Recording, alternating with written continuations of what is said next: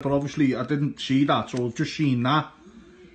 So I went, I went to number three straight away. She didn't even know about it. I hadn't even come in. I just picked her up out the window screen. Knocked on his fucking door. He comes to the fucking window. I said, come here.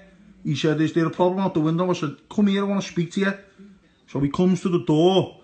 I said, what the fuck is this? We're just about to smash him all over his fucking hallway. Skinny little six foot fucking rat. And he comes out with him a window cleaner, mate, and all that. I'm give them to everyone else. So he is a window cleaner. He backs that up.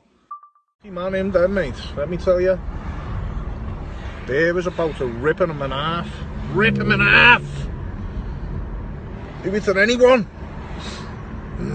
Back, man. Smash the faces to bits. Take their eyes out, bite their ears off, the nose, mate. Yeah. Older, older.